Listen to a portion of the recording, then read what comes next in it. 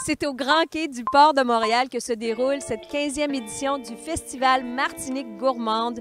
Pour ce grand retour en présentiel, ils ont recréé un marché créole. Plusieurs activités familiales sont au rendez-vous et la présence de cinq chefs de renom qui nous ont concocté des spécialités emblématiques de la Martinique. On part à l'aventure!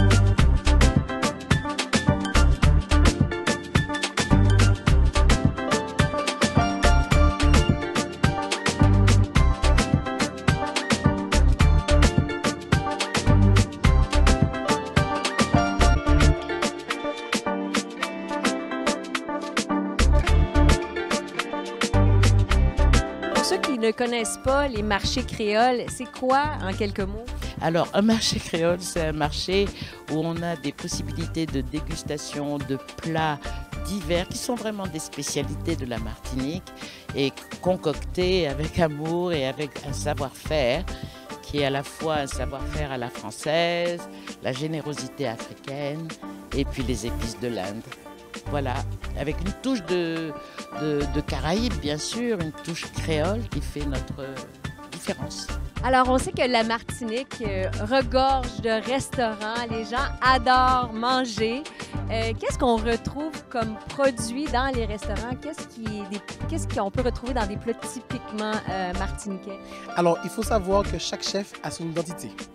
Donc, c'est vrai que chaque chef va représenter justement ses produits, mais nous allons, nous allons trouver des produits de la terre, des produits de la mer, et justement, ils vont faire, ils vont concocter justement à leur façon, justement, une recette qui, leur, qui, sont, qui, sont dédiées hein, à, leur, à, leur, à leur image, mais sinon, après, il y a tous les, plats d'antan, hein, le, chelou, le macadam, le, le ce sont des, plats justement typiques antillais qu'on retrouvait euh, en temps de nos gros-parents, qu'on revalorise aujourd'hui sur notre territoire.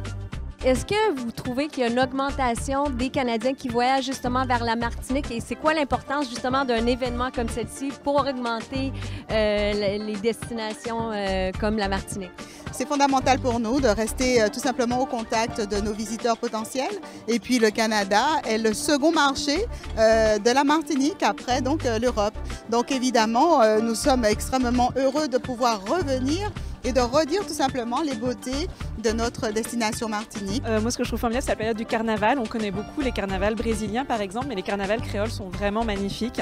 Euh, le mois de février, qui en plus est le bon mois pour euh, partir hors du Québec pour retrouver un petit peu de chaleur.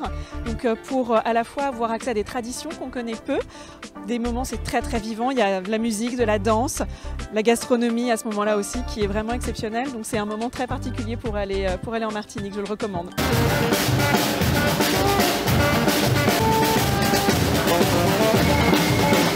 Un festival comme celui-ci aujourd'hui, qu'est-ce que ça représente pour la ville de Montréal?